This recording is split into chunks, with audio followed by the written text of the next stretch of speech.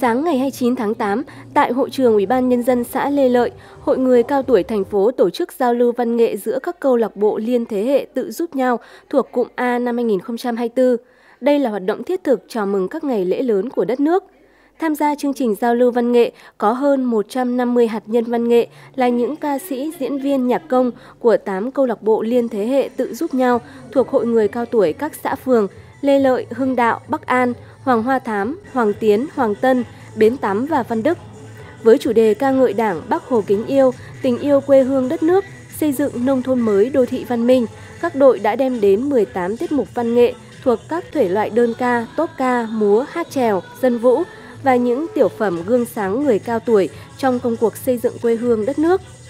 Nhìn chung, các tiết mục tham gia được lựa chọn kỹ từ cơ sở, dàn dựng công phu, trang phục đẹp, lời ca tiếng hát hay, điệu múa uyển chuyển, khỏe khoắn, mang nội dung đậm đà bản sắc dân tộc. Mỗi tiết mục đều có những sắc thái và ý nghĩa riêng, góp phần tạo nên sự hấp dẫn và thành công của buổi giao lưu, đồng thời tạo nên không khí tưng bừng, đoàn kết, vui tươi phấn khởi cho khán giả tới xem cổ vũ nhiệt tình.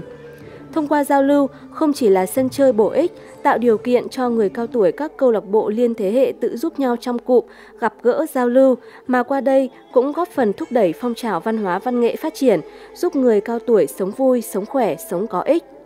Được biết, trên địa bàn thành phố hiện có 11 câu lạc bộ liên thế hệ tự giúp nhau hoạt động hiệu quả. Ngoài việc liên kết các thế hệ thành viên trong các gia đình giúp nhau phát triển kinh tế gia đình, chung tay giúp đỡ hội viên có hoàn cảnh khó khăn trong cuộc sống hàng ngày, các thành viên trong câu lạc bộ còn lồng ghép hoạt động văn hóa văn nghệ thể thao trong các buổi sinh hoạt, tạo sự gắn kết giữa các thành viên trong câu lạc bộ.